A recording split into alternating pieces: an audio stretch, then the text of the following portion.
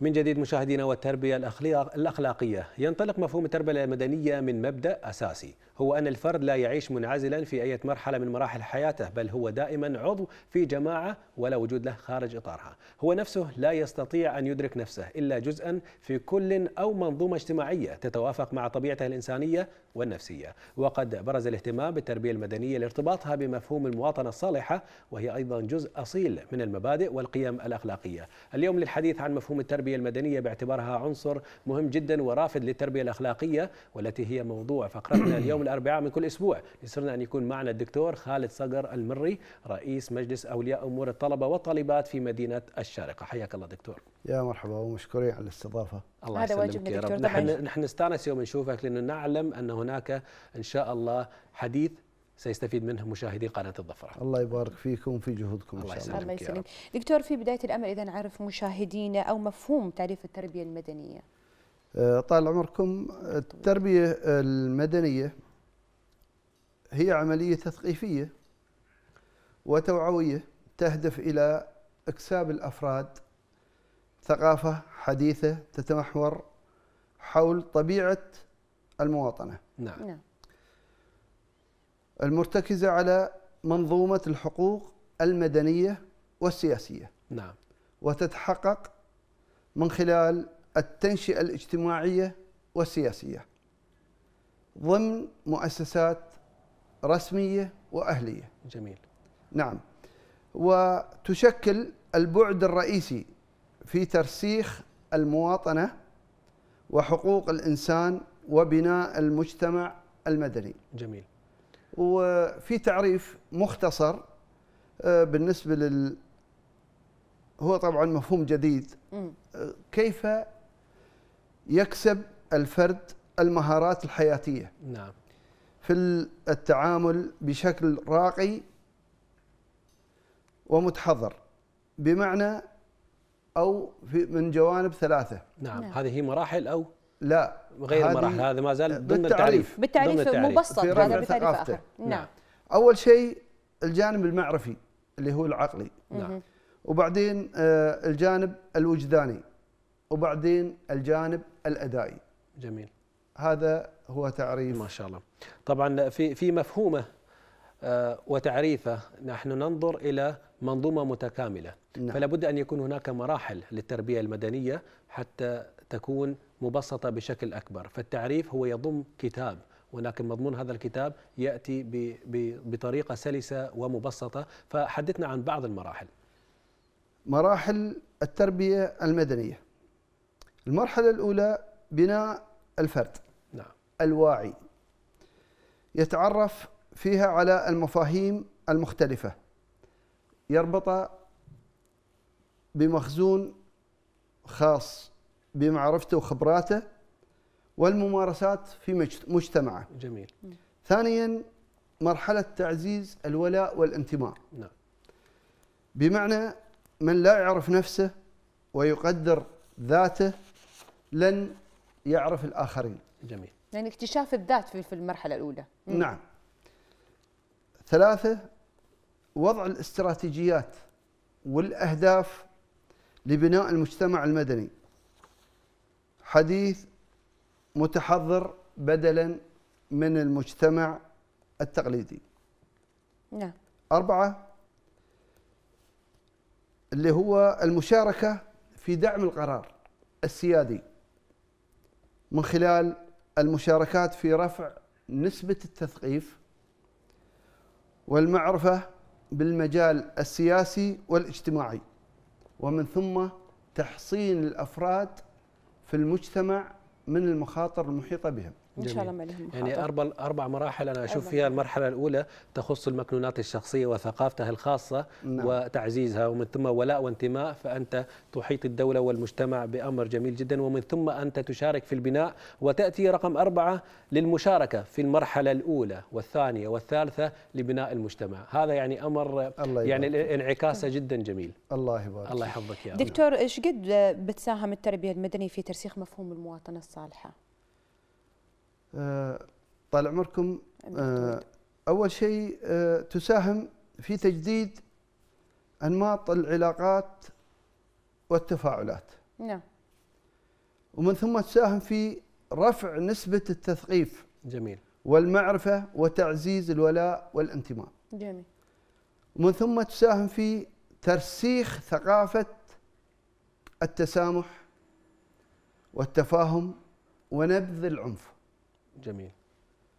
ومن ثم النقطة الرابعة تساهم في ترسيخ فكرة احترام القانون وحقوق الأفراد. نقاط جدا مهمة اللي نتكلم فيها يعني. أكيد. طبعا. خمسة نعم. تساهم في ترسيخ مفهوم الشفافية في المجتمع. جميل. الرقم أربعة كان في السؤال السابق اللي هو المشاركة في طبعا اللي هي القوانين والسياسة وغيره وغيره يفرض علينا سؤال بأن هناك ركائز أساسية في التربية المدنية والمشاركة السياسية فشو بعضها؟ آه، طال عمرك الركائز الأساسية في التربية المدنية والمشاركة السياسية. نعم. آه، أول شيء آه، المتاح للمواطن هو التعرف على صناعة السياسة. نعم. مثل ما بدأت دولة الإمارات بمراحل والتدرج بالنسبة لل- للانتخاب البرلماني وتوزيع الحصص. جميل. ومن ثم رفع ثقافة المشاركين أول حسب النسب ومن ثم أتيح للجميع. صحيح. وبالتدريج وهي رفع ثقافة المجتمع أسهل المشاركة في آه، سياسة الدولة والمشاركة البرلمانية أو الانتخاب البرلماني. تعزيز مبدأ الشورى وهو الأساس في الإسلام طبعا. نعم. أكيد. ومن ثم المشاركة في الانتخابات البرلمانية. بعد ما يتعرف على صناعة السياسة يقوم بالمشاركة في الانتخابات البرلمانية. بعدين عليه التعرف على الحقوق والواجبات للفرد ماله وعليه. نعم. الفرد في المجتمع من معرفة قوانينه القوانين البلد حقوقه واجباته آه، هذا واجب أن الإنسان يتعرف عليه. بعدين تعزيز الإحساس والسيطرة والقيمة الإنسانية. نعم. بعد مهارات التربية المدنية أو تعزي آه، بمعنى التعرف على الحقوق والواجبات اللي ذكرناها آه، للفرد لما له وما عليه. نعم.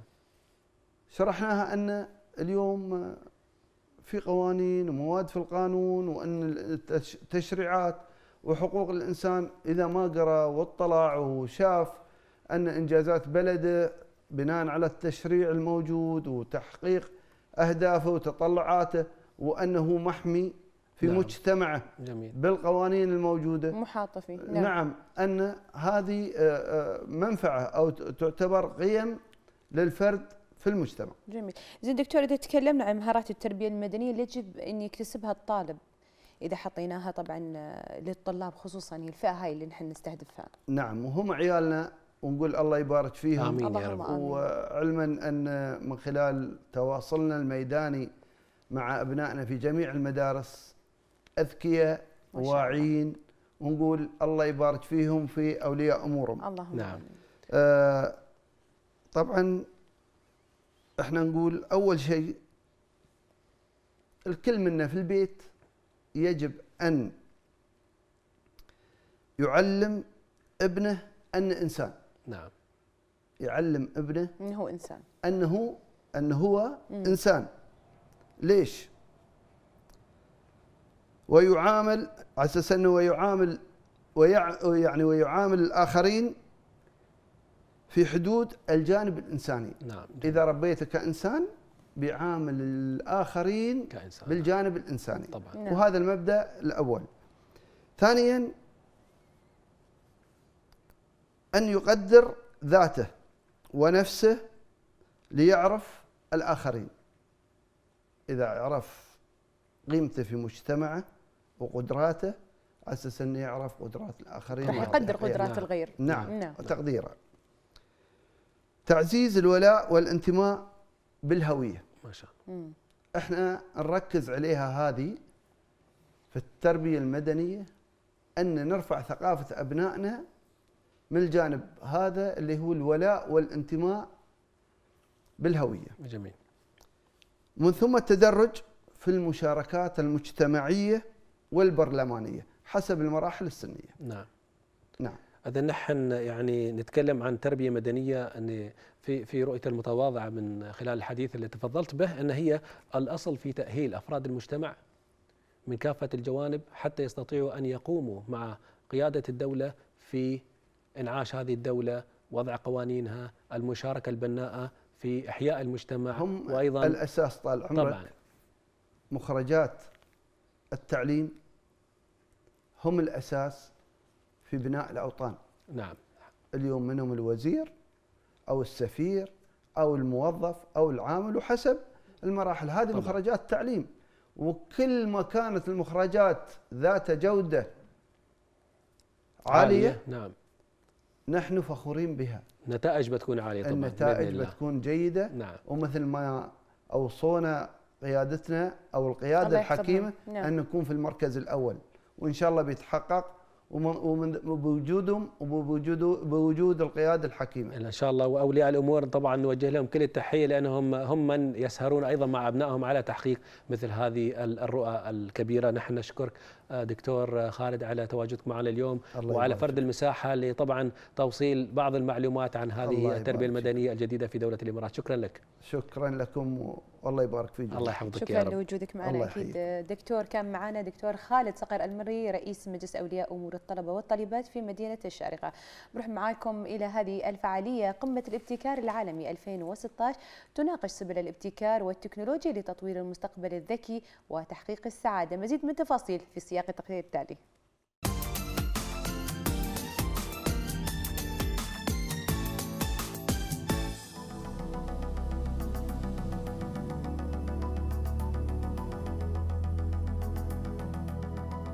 افتتح سعادة عبد الباسط الجناحي المدير التنفيذي لمؤسسة محمد بن راشد لتنمية المشاريع الصغيرة والمتوسطة إحدى مؤسسات دائرة التنمية الاقتصادية في دبي فعاليات قمة الابتكار العالمي 2016 في دورتها الرابعة تحت عنوان تحقيق السعادة والمستقبل الذكي.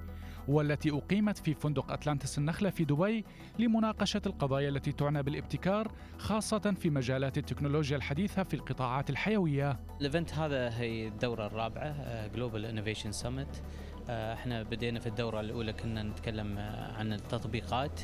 آه، اليوم آه، ال- ال- الثيم عن عن ال innovation في في في قطاع المشاريع الصغيرة والمتوسطة. آه، الحمد لله آه، ال- الدورة الرابعة الحين يتكلم عن حوالي 2000 شخص مسجلين آه، لحضورها آه، السمت هذا. آه، أغلبهم من القطاع الخاص وخاصة من القطاع المشاريع الصغيره والمتوسطه وهذا بالنسبة لنا آه، آه، مهم جدا لتوصيل الرؤى آه، وخطط الحكومة لقطاع المشاريع الصغيره والمتوسطه و- وماذا متوقع منها. أعتقد آه، ال- الاستفادة الكبرى بتكون هو الاحتكاك اللي ممكن يصير بين آه، المشاريع المحلية آه، والمشاريع العالمية اللي موجودة واللي فيه ديليجيشن كبير موجود هني من أوروبا ومن آسيا من الهند من الصين وفيه طبعا من من من أفريقيا لو لو لاحظتي. هذا يعطيه فكرة كاملة عن أول شيء خطط حكومة دبي وخطط دولة الإمارات. ورؤيتها المستقبلية وكيف ت- ت- ترى المستقبل. آه، ونريد أن آه، نجاح دولة الإمارات آه، وخاصة إمارة دبي يكون له نفس التأثير على على الدول الأخرى. كرم سعادة عبد الباسط الجناحي على هامش القمة ثلاثة من الشركات المبتكرة في مجالات الرعاية الصحية والتعليم والطاقة والاستدامة.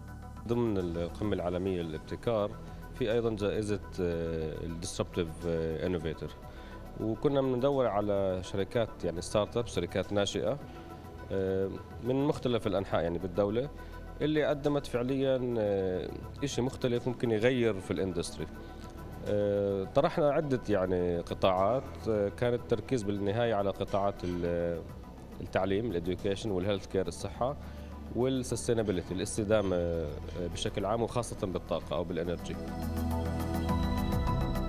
وتميزت الدورة الرابعة بمشاركة 2000 مشارك من نخبة المختصين وصناع القرار من القطاعين الحكومي والخاص. وضمت القمة سلسلة من الحلقات النقاشية لعدد من المتحدثين والخبراء العالميين كما تناولت جوانب مختلفة حول الابتكار والآثار المترتبة عليه في الصناعات المختلفة وكيفية استدامة الابتكار لتحقيق مستقبل أكثر ذكاءً.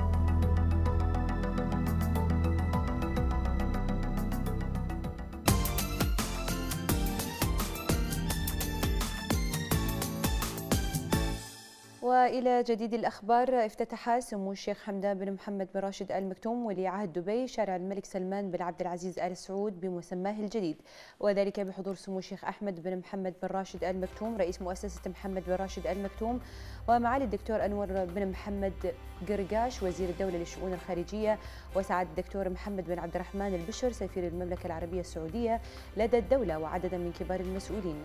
تم خلال الاحتفالية عزف السلامين الوطنيين لدولة الإمارات والمملكة العربية السعودية والتقطت الصور التذكارية وتأتي هذه اللفتة لتأكيد عمق العلاقات الأخوية التي تجمع دولة الإمارات العربية المتحدة والمملكة العربية السعودية ومتانة الروابط التاريخية بين الشعبين الشقيقين.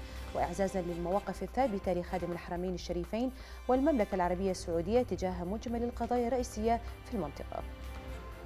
كما هنأت مع الدكتورة أمل عبد الله القبيسي رئيس المجلس الوطني لاتحادي المملكة العربية السعودية الشقيقة قيادة وشعبا بذكرى اليوم الوطني السادس والثمانين للمملكة متمنية للشعب السعودي كل التقدم والرفاهية والازدهار وذلك تحت القيادة الرشيدة لخادم الحرمين الشريفين الملك سلمان بن عبد العزيز آل سعود. وأكدت معاليها في برقيات بعثتها إلى معالي الشيخ الدكتور عبد الله بن محمد بن إبراهيم آل الشيخ رئيس مجلس الشورى خصوصا العلاقات الثنائية بين دولة العربية المتحدة الشقيقة والشقيقة الكبرى المملكة العربية السعودية والتي تجسد عمق رؤى قيادتي البلدين وتفاهمهما إزاء القضايا المطروحة خليجيا وإقليميا ودوليا. وأشارت أيضا في هذا السياق إلى أن دولة الإمارات والسعودية تقدمان اليوم النموذج الأمثل للعلاقات الخليجية والعربية. مشاهدينا بختام هذه الأخبار نأخذكم إلى نهاية هذه الحلقة. نراكم غدا في أمان الله. نلقاكم باكر إذا الله أحيانا في نفس الموعد. منا لكم أجمل تحية تصبحون على ألف خير.